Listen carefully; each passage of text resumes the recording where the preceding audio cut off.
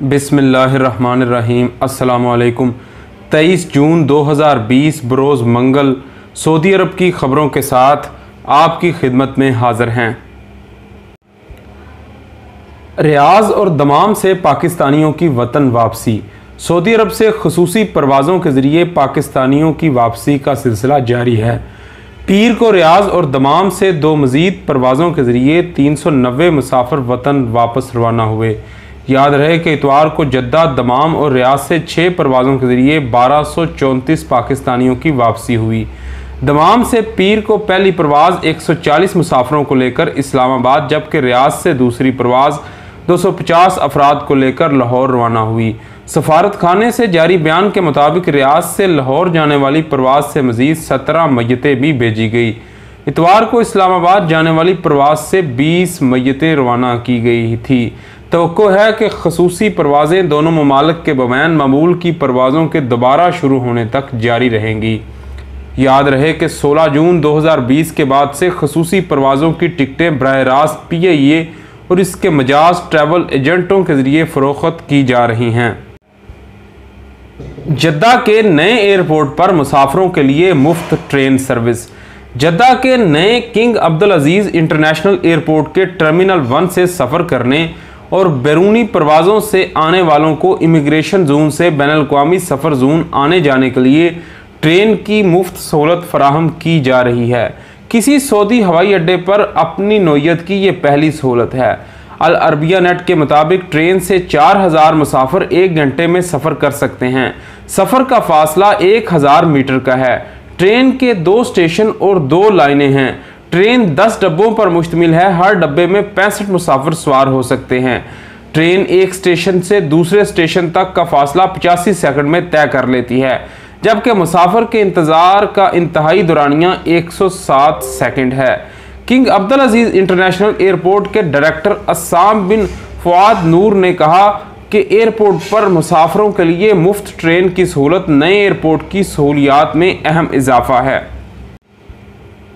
एहतियाती तदाबीर barber shops में नरख बढ़ गए।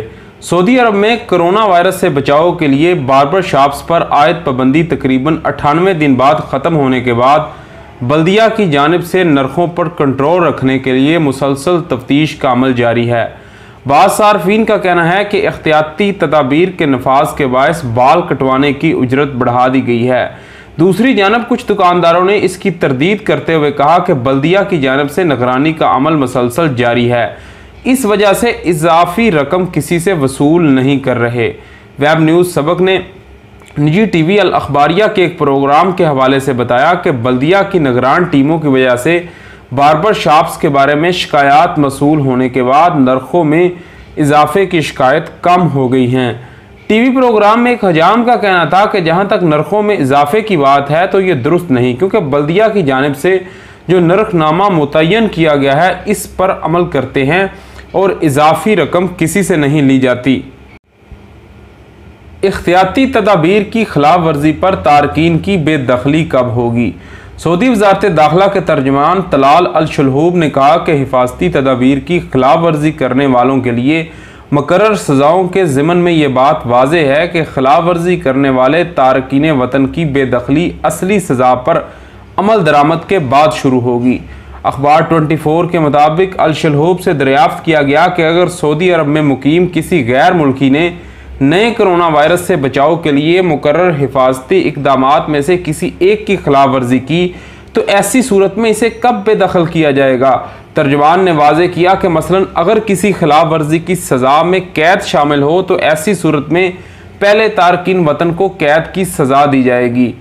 वजारत दाखिला के तर्जमान का कहना था कि कैद की सज़ा की शुरुआत अभी नहीं होगी, बल्कि कोरोना वायरस वबा ख़त्म होने के बाद जेल भेजा जाएगा। और जब वो कैद की सज़ा मुकम्मल कर लेगा तो तब इसे ममलिकत से बेदखल कर दिया जाएगा। याद रहे कि वजारत दाखिला ने बयान में कहा था कि अगर मुकर करदा जबतों में से किसी एक की खिलाफ वर्जी करने वाला ममलिकत में मुकीम गैर मुल्की होगा तो इसे सऊदी अरब से बेदखल कर दिया जाएगा और सज़ा काटने के बाद इसे ब्लैक लिस्ट कर दिया जाएगा। बयान के मुताबिक मुकर करदा जबतों की खिलाफ वर्जी पर कैद की सज़ा कोरोना की वबा के हंगामी हालात ख़त्म होने के बाद दी जाएगी। जमजम की सप्लाई ता हदायत सानी मुअत्तल रहेगी। जमजम के इदारे ने कहा कि मुल्क भर में जमजम की सप्लाई ता हदायत सानी मुअत्तल रहेगी। सबक वेबसाइट के मुताबिक किंग अब्दुल्ला मनसूबा बरए जमजम सप्लाई ने कहा है कि सेहत इदारों की हदायत मिलने तक मक्का मुकरमा समेत दीगर शहरों में भी आब जमजम सप्लाई करने वाले तमाम इदारे बंद होंगे। ये फैसला कोरोना वायरस के पेश नज़र शहरीों और मुकीम गैर मुल्कियों की सलामती के लिए, जिस पर अभी तक मुकम्मल अमल जारी है।